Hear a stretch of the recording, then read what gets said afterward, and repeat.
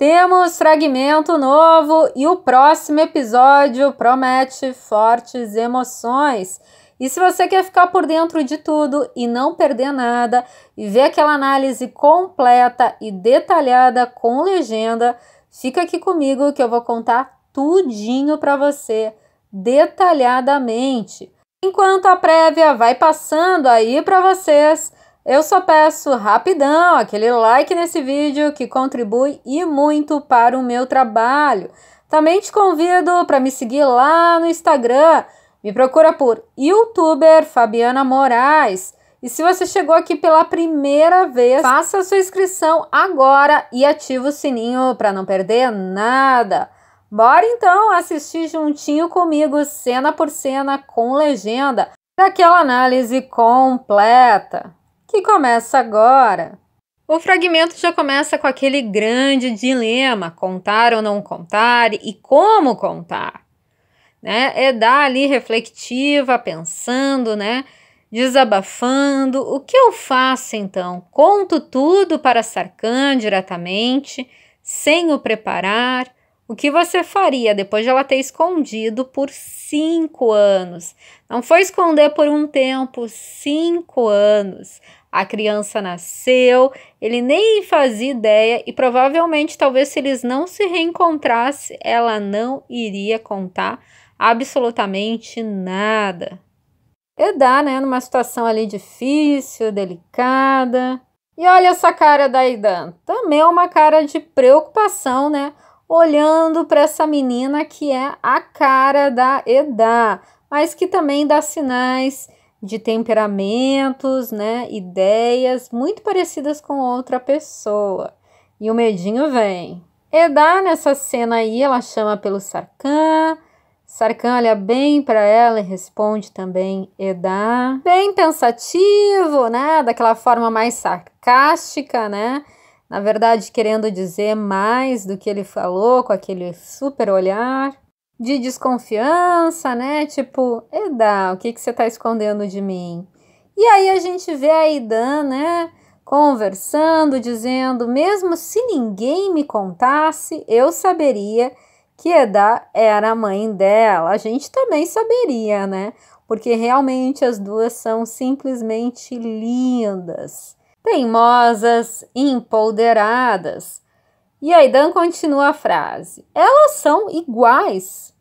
Mas dá para ver que na cabeça da Aidan existe outras dúvidas também que vão surgindo ao decorrer do fragmento. Imagina do episódio, então. A Ifer já deve estar tá preocupada, né? Então ela pede para Melô ficar em silêncio. E antes de falar de mais uma cena fofa entre pai e filha, quero mostrar uma outra cena entre eles que apareceu um pouquinho antes, mas sem diálogo, bem rapidinha mas que vale a pena a gente rever aqui, já que eu printei para vocês, que é a Kiraz mexendo ali no carro do Sarkhan, a gente já viu que ela é danada, e ele dando aquela olhada para ela. Essa menina vai aprontar muito ainda na vida desse ruivo. E depois corta para essa cena fofa entre Sarkhan e Kiraz, que é sempre maravilhosa ver a interação dos dois. Olha só o diálogo entre eles. Você tem filhos? pergunta ela, curiosa, e olha a resposta do Sarkhan. Não, não, não tenho tempo para isso. E Kiraz, claro que rebate. Imaginei a cara do Sarkhan, né, vendo a resposta daquela garotinha pequenininha, é genial. E a cara que a Eda faz quando o Sarkhan também responde que não tem, que não tem tempo, é de cortar um pouco o nosso coração. E Seifé, que não é nenhum bobo, né? Oferece um morango para a garota e olha a resposta da menina. Eu não posso, sou alérgica. E nesse momento, Aidan quase tem um troço, chega a se engasgar. Aí corta a cena para Eda e Sarkhan, e aí vemos Eda bastante temerosa com o segredo que ela esconde. Há muito arrependimento dentro de mim que eu não te contei. Saikan, já desconfiado, diz: O quê? Aí vemos Edá, mas a voz por trás é uma voz de preocupação da Idan. E fala: E se o que você comentou for verdade? Aí aparece Sarkhan dizendo: Você pode me dizer? E se eles estiverem fazendo um grande jogo com todos nós?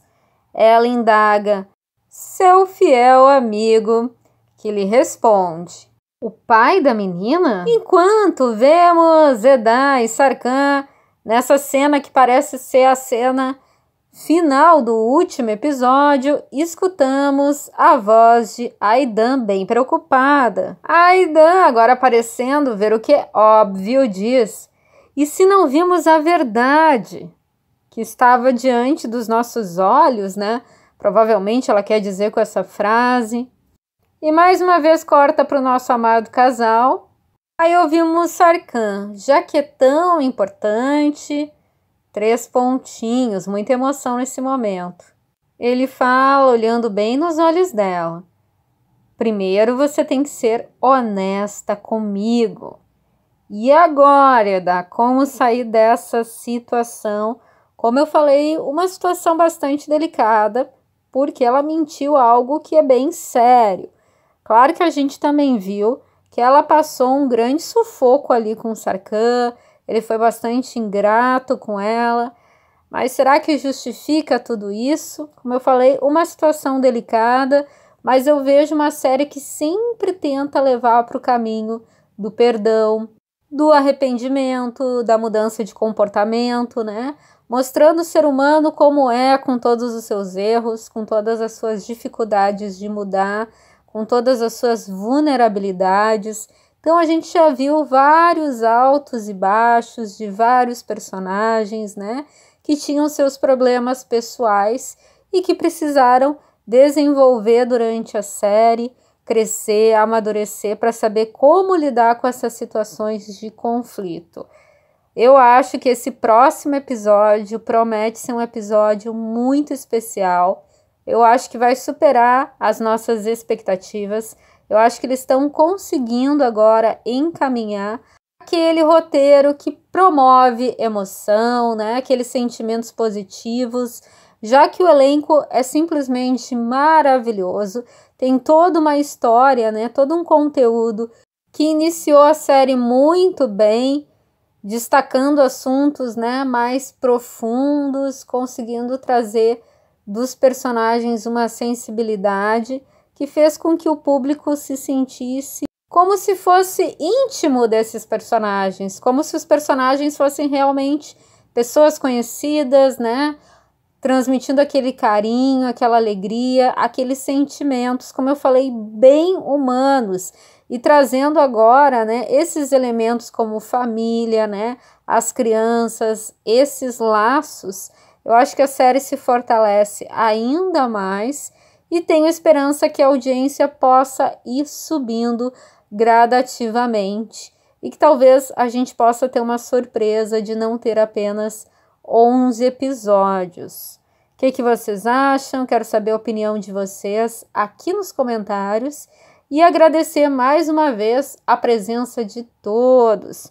Hoje teria um vídeo especial sobre o Dia dos Namorados, ele foi gravado, mas como tinha muitas cenas, muito conteúdo, né, de outras séries, teve alguns probleminhas ali com os direitos autorais, então eu tô tentando cortar alguns pontos para passar para vocês. Enquanto isso, eu convido vocês para assistir esse vídeo que tá já no card e também vou deixar na tela final, que é um vídeo aonde eu mostro, né, algumas cenas românticas do ator, né, Jan Iman.